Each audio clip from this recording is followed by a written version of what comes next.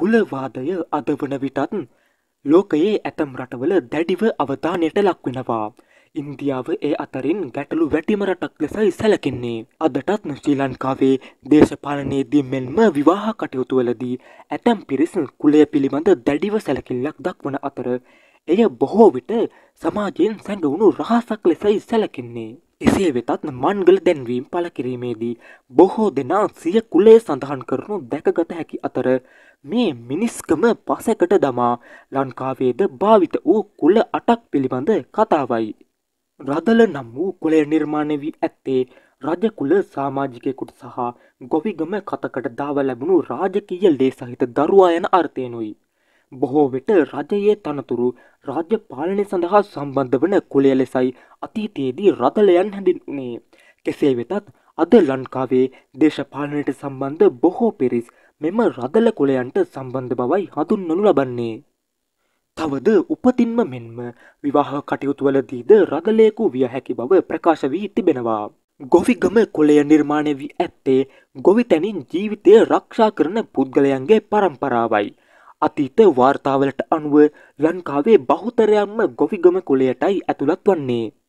බද්ගම හෙවත් බදු කොලය ලෙස හැඳින්වෙන්නේද ගොවිතැන සහ උමන් කර්මාන්තයේ රැකියාවන්ට සම්බන්ධ පුද්ගලයන්කින් පැවත එන්නන් ලෙසයි.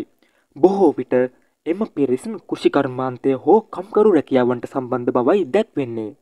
අතීතයේ වංශවත් කොලයක් වූ මෙය මහනුවරයුගේදී පහත් කොලයක් ලෙස නම් කර තිබූ අතර ඊට හේතුවක් අනාවරණය වන්නේ නැත.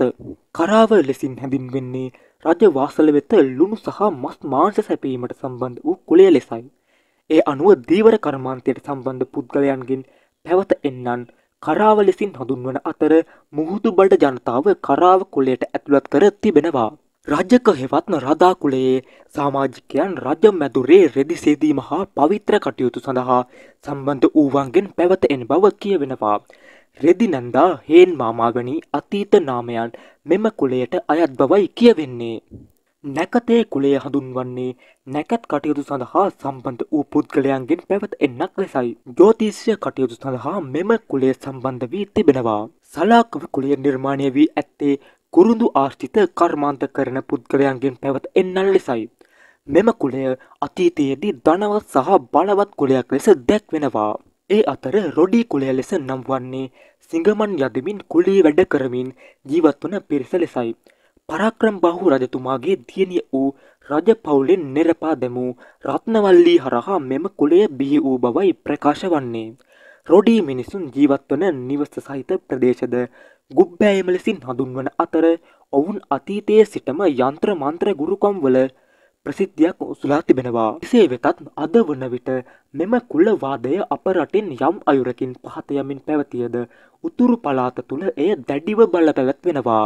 බෞද්ධ රටක් ලෙස කුලවාදය මෙරටදී සැලකීම නොගැලපන්නක් වන අතර මිනිසා උපතින් වසලයකු හෝ බ්‍රහම්මණයකු නොවන බව බුදුන් වහන්සේ දේශනාවෙන්ම පැහැදිලි කරදී තිබීම ඊට මනා උදාහරණයක් වෙනවා.